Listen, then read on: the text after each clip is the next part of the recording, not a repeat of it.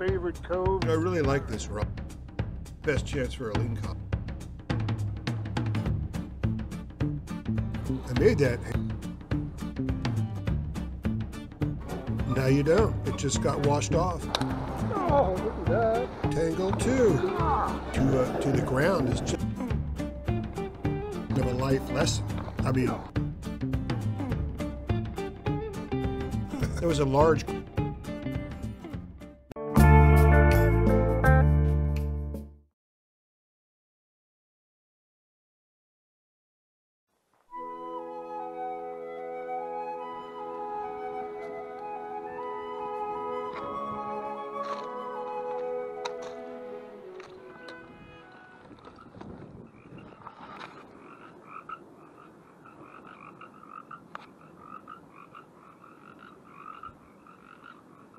Uh, middle March, I'm down here in the uh, my, my new favorite cove of uh, Montana de Oro. You can see the, the ocean is is still jumbly. It looks like it's calming down, but there is definitely uh, a small swell. So I will be able to get over to my spot over there, do a little cast. Let's get that done before it gets too light, too much more light. You know, I really like this rod, but I'm kind of missing my telescopic rods. You know, you'd get there, you just had to pull them out. The hook was all ready to go. But I think I need, if I get one, it's got to be a little shorter. Maybe they'll be more rugged. They'll last longer. You can see the edge right along that reef there. That's where I'm going to fish. It's from 5 to 10 foot around there. That's why we're here. The visibility is not too bad for the last few weeks. It's just been brown, nasty water you couldn't really see through. But it looks like we're getting a little visibility, and that's good for fishing.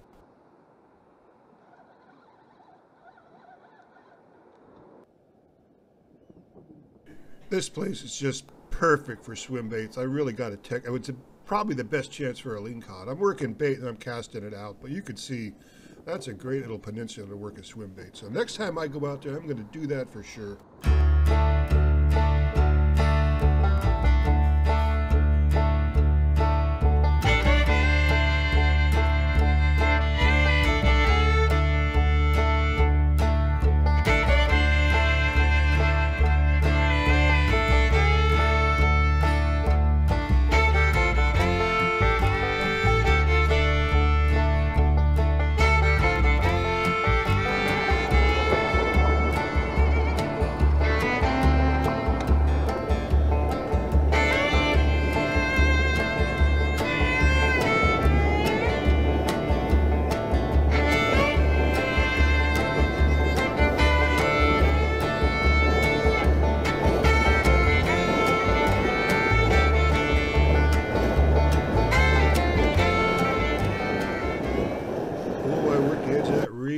Couple hours, probably longer than that, and I think I got like one bite. That was about it. So decided to head to the other side of the reef over here and check that out for a while.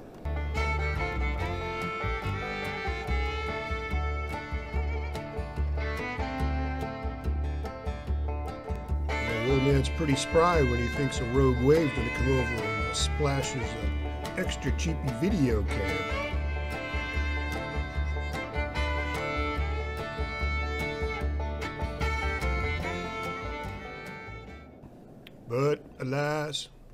That side of the reef, and uh, oh, I'd been here four or five hours by now, getting kind of hungry, looking for some lunch. Yeah, so we finished lunch, got a little coffee in us, a little food, and uh, a little ibuprofen, and decided to uh, work this little inlet. If you look across the inlet there, that, that reef is where I was fishing this all, all morning. Yeah, so the fishing hasn't been that great, but I remembered I brought a crab snare along, one of the easy ones to easy ones to make. So I'm going to give that a try. I made that crab snare myself. I, I had made some other ones, a standard kind out of a box, and then I had some leftover material and thought, hey, just fold it over and wire two sides or three, the two sides shut. I have a little hole left open where you can stuff the stuff uh, bait in and you can wire that shut. It takes a, takes some needle nose pliers to do that, but it's very easy to make. It only costs a few cents. I made it real fast. You can make a bunch of them. Just make the loops out of 30 pound tests and loop knots. Now, on the other side of that inlet, that's where I was fishing before. Uh, took lunch on this side and decided, you know, work that hole, uh, see if there's any fish down there. Check my crab snare. There's my little hand line. I made that hand line to uh, for a video on catching cabezon on the Central Coast. That's how they used to do it in the old days. Just a bolt tied to the end and a hook on top of that. Real cheap Carolina rig. So look how clear that water's gotten. It's really nice. Handline video is still on my list of videos to make. I got tons of them. No, the time is what you need. Okay, I'm, I'm really tired. I've, I've been there about six hours, but you can just see conditions completely changed. It's visibility, water's hardly moving, so. Do one more trip out there. exactly. Got to go over and get that crab snare.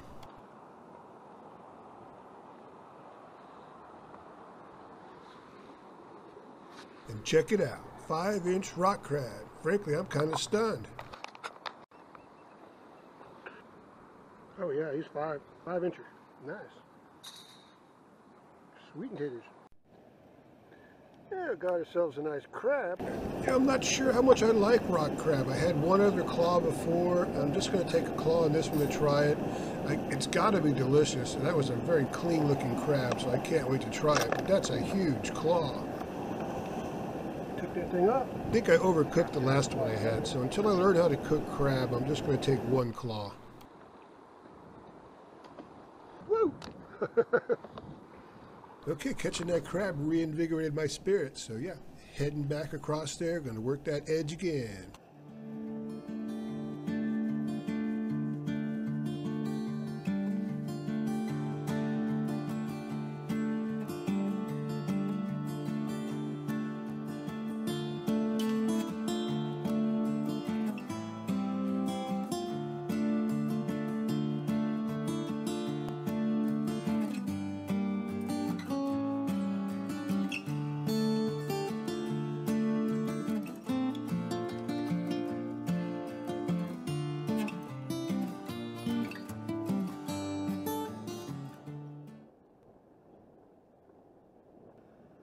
We didn't catch anything along that edge. I was kind of thinking it'd be easy to get a few rock crabs over there, but it didn't happen.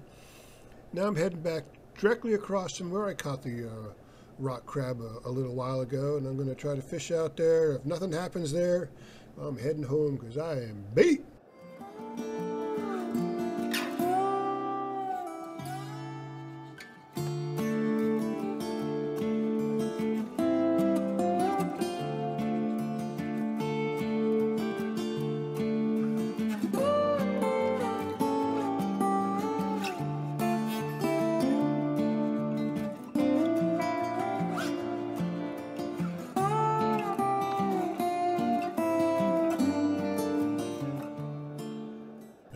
Bite I think I got that morning was right there, so I set this thing right, right there, right where I thought it would be. A little electrical tape over your buttons or your uh, card insert on those uh, cheapo uh, cameras, save you from splashes. And then I worked the pull all around that area there and uh, never really got a bite, so I decided, okay, let me check the uh, crab snare, and if I don't have anything, maybe I'm, I'm just going to call this a day.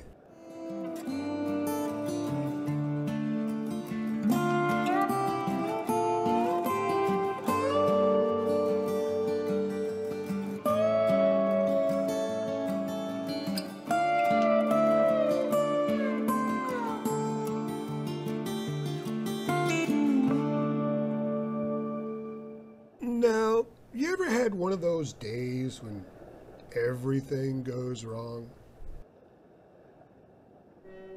Out of nowhere, I've got this tremendous snag. And it's not, I'm not like I'm on a reef, I'm on a little peninsula here, so I'm trying to get an angle on it, how I can release it. And I don't want to break the pole, so I want to get a pull straight, uh, pull the pole straight, but that's kind of hard, I don't have enough room, so I'm trying to work it. Maybe I can get below the snag and pull it out that way. I hope this is clear enough, but if you look closely when I'm pulling up, my handle falls off. I lose it.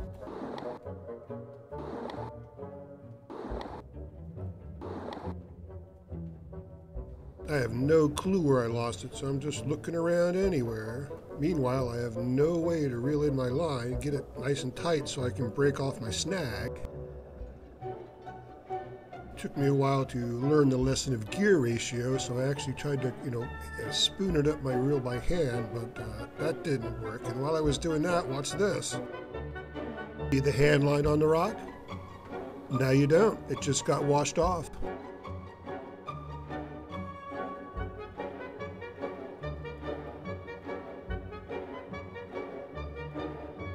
So now I'm tired and everything's going wrong and I'm, I'm befuddled, so I'm, I'm just not quite thinking right. And when that happens, what happens? Oh, don't that. Supposed to do that. Is that worse? So as of now, I have a snap pole, uh, a broken reel, uh, a snag, and a lost crab snare.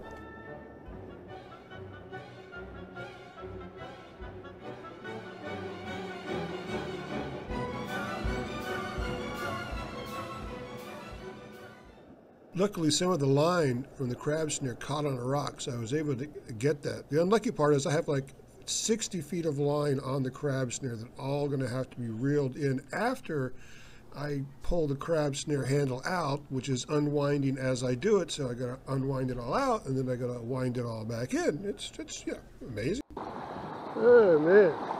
Oh wait, I'm not done. As I pull that line out, it's dropping on my uh, string from my pole, and that's getting tangled too.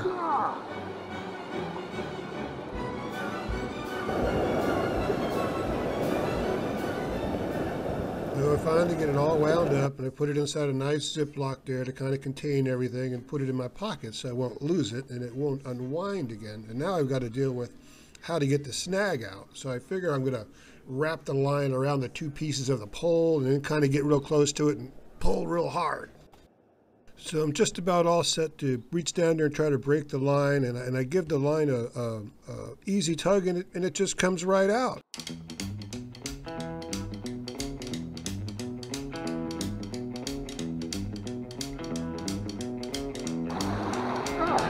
You feel?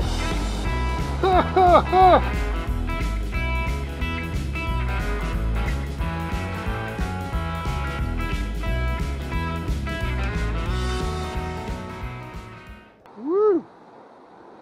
A monkey facer and a half, man. That is a big old boy. And look at the size of this thing. My knee to uh, to the ground is just under two feet, and that thing is longer than that. So it's over two feet. I didn't measure it. I always forget. But, that's a big old Look at this monster eel, man.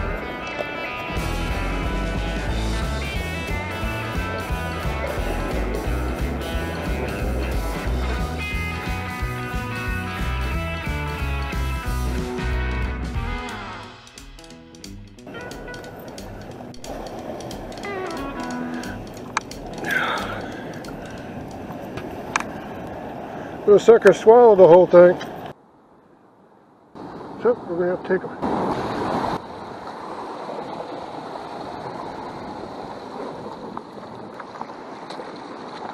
I got a video. Busted my pole. But I've got parts and pieces for this pole. Well, catching that eel was kind of a life lesson. I mean, what I thought was misfortune was actually fortune. The snag, I, I was trying to break. I couldn't break because I lost my handle, but it wasn't a snag, it was that eel. And I still wouldn't have caught it had not all the other things happened because it, I needed time for the eel to bleed out underwater and then I could pull him out from the snag. are hard to flee. They're definitely hard to flay, and I'm kind of tired, but they are tasty. I can't wait to cook it up. Look at that baby.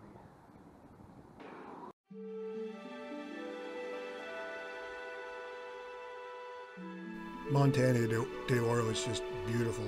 Any, any place you film is just, just pretty. Oops, I forgot my hat.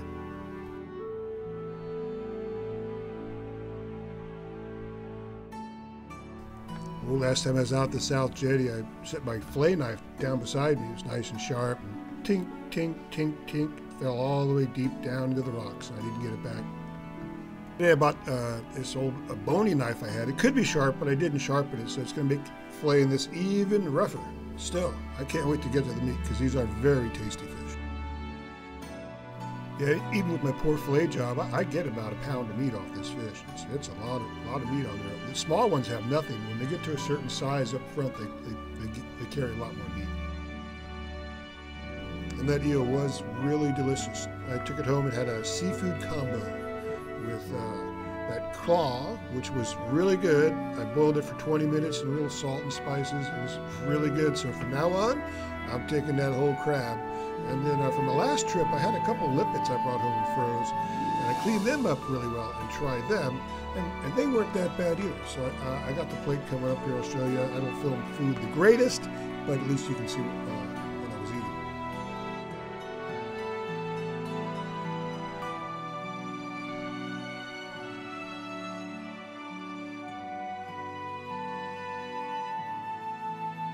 That eel was so clean and fresh. So yeah, that was my uh, delicious looking plate of seafood. It was rather large, and that crab was really good. I, that crab was really tasty. That was crab. So from now on, I'll be taking the whole crab and uh, just doing some close-ups, some stuff. I'm trying to learn how to film the, the food. My camera's pretty good at close-ups, not so good from far away, but that was some really good eel. It was so clean. Mm, that's my tartar sauce. It's tasty too.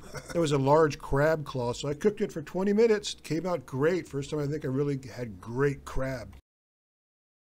The little darker piece there is, is the limpet. Uh, which was pretty good, except they are very chewy. But if, if you were really hungry and you had to eat, I would say go for those limpets. They'll fill you up.